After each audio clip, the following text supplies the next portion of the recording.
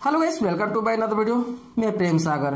दोस्तों, इस साल सब सैमसंग के यूज़र्स में तो आपके लिए अच्छी बात ही है कि दोस्तों सैमसंग ने अपने गैलेक्सी ए फिफ्टी वन को इस साल साठ पर साठ लाख से ज़्यादा यूनिट बेच चुकी है। वही दोस्तों हम बात करते हैं, इस यूनिट की बेचने के साथ सैमसंग ने रेडमी के रेट और रेडमी नोट एट को भी पिछाड़ दिया है, जो कि दोस्तों बात करें, ये यूनिट बेचे गए दोस्तों ये साल दो हज़ार बीस के फ़र्स्ट तिमाही में बेचे गए जाने वाले स्मार्टफ़ोन में से पहले नंबर पर है, जो कि सैमसंग गैलेक्सी ए है। रिसर्च किया गया दोस्तों स्ट्रेटेजिक एनालिस्टिक के द्वारा ये रिसर्च किया गया। इस रिसर्च में दोस्तों दावा किया गया कि सैमसंग ने सबसे ज़्यादा इस साल फ़र्स्ट तिमाही में 2020 की फ़र्स्ट तिमाही में अपना सबसे अधिक स्मार्टफ़ोन बेचा गया, जो कि सैमसंग गैलेक्सी ए फिफ्टी सबसे अधिक स्मार्टफ़ोन बेचा गया, जो कि दोस्तों साठ परसेंट साठ लाख से ज़्यादा यूनिट पूरे वर्ल्ड में बेचा गया, जिसकी marketing share one point percentage रही। वही दोस्तों दूसरे नंबर पर रहने वाला है रेडमी का ही स्मार्टफ़ोन जो कि रेडमी एट है, जो कि दोस्तों वन परसेंटेज का मार्केट शेयर किया गया है। वही तीसरे नंबर की बात कर लेते दोस्तों तीसरे नंबर पर रहा गया है सैमसंग का।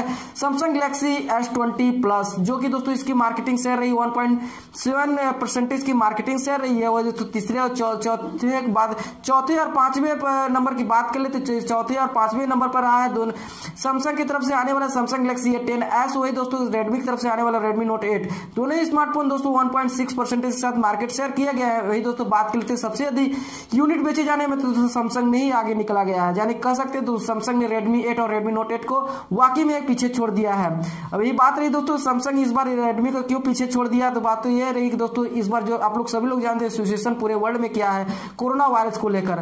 दोस्तों कोरोना वायरस के पूरे वर्ल्ड में सिचुएशन है और दोस्तों, हर कोई एक चाहता है, कोई भी स्मार्टफ़ोन कोई भी एंड्रॉइड स्मार्टफ़ोन लेना चाहता है। तो क्या लेना चाहता है दोस्तों, एक अच्छा स्मार्टफ़ोन लेना चाहता है, जो कि दोस्तों आपको टिकाऊ और लंबे समय तक इसे यूज़ कर सके। क्योंकि दोस्तों, कोई भी नया स्मार्टफ़ोन लेने, ले नहीं सक रहा है, क्योंकि दोस्तों, आप लोग सभी लोग जान रहे हो कि इसमें क्या हालात चल रहे हैं। इसकी वजह से दोस्तों स्मार्टफ़ोन लेने में बहुत दिक्कतें हो रही है स्मार्टफ़ोन लॉन्च होने में दिक्कतें हो है इसकी वजह से दोस्तों, सबसे अधिक सैमसंग के लोग स्मार्टफ़ोन पसंद कर रहे हैं। ऐसा नहीं है कि दोस्तों रेडमी के स्मार्टफ़ोन पसंद नहीं किया जा रहा है। रेडमी के भी स्मार्टफ़ोन पसंद किया जा रहा है, लेकिन हाल ही में जो रिपोर्ट आई है उसके अनुसार अभी सैमसंग आगे निकला हुआ था दोस्तों, आप लोग कमेंट स्क्रीन बताइएगा अभी दोस्तों, आप लोग सैमसंग की यूज़ करते हैं स्मार्टफ़ोन की रेडमी के स्मार्टफ़ोन यूज़ करते हैं। कमेंट स्क्रीन ज़रूर बताइएगा। तो ये थी दोस्तों, आ रही थी जो एक रिपोर्ट सामने। तो उम्मीद है दोस्तों, आप लोग वीडियो पसंद आए। वीडियो पसंद है वीडियो को लाइक कीजिएगा, अपने दोस्तों को शेयर कीजिएगा।